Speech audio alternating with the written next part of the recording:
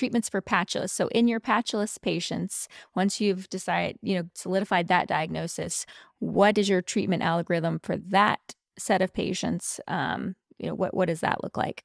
Well, again, it starts with looking for the etiology. Uh, if it's weight loss, we don't have them gain weight. That usually goes wherever else you don't want. but uh, if there are other things that are treatable, they're on diuretics, uh, they're on uh, particularly um, oral contraceptive with uh, spironolactone. Other oral, oral contraceptives are okay, but that particular combination seems to be prone.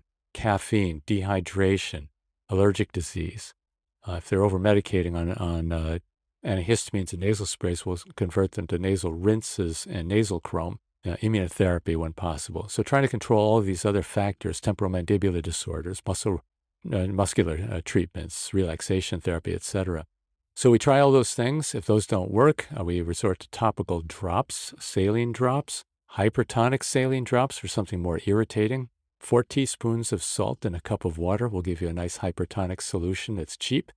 You have to instruct the patients how to do it. So you've got to lie supine, hang your head 15 degrees, apply the drops, and turn 45 degrees toward the floor. So it's kind of like a not as severe a head hanging Hallpike position. And the drops, when they touch the eustachian tube, will give a, a twinge that radiates to the ear.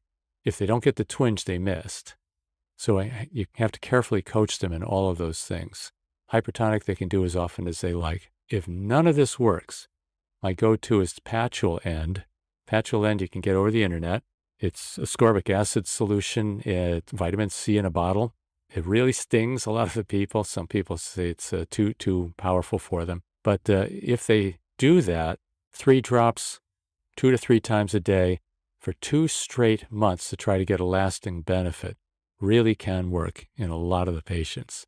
So that's that, those are the uh, go-to things. If they've failed the hypertonic, or the PatulEnd with a rigid protocol like that, those are the ones I'm considering surgery if we have to. And real quick, what's what's your you know the most common surgical option for these patients? Yeah, the most common thing I do is to we don't have any commercial device, so off-label inserting an angiocatheter catheter that I've filled with molten bone wax, let it harden, cut it to size, and put it up the full length of the eustachian tube. And if they're out of town, I even put a stitch to it. We get great results with that.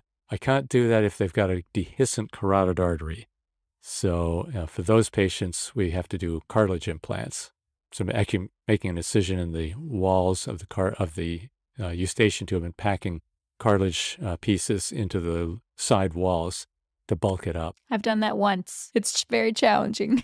Congratulations! I hope you have the instrument. That far in the nose. Yeah, we we had, we had them order the special kind of eustachian tube, uh, like needle driver, you know, instruments to get to the back of the nose. But that is it is very challenging um, throwing stitches in that part of the nose. So the putting in a the the shim is much much preferred, much easier. Right, and you're talking about a shim. So we, we call it a shim. It's a plumber's shim to help try to plug the leak of the valve without intentionally plugging it completely. So we do call it a shim.